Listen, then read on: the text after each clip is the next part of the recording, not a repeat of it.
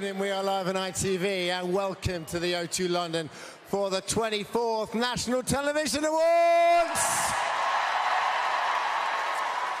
I am delighted to be your host this evening for one of the few remaining shows on ITV not hosted by Holly Willoughby.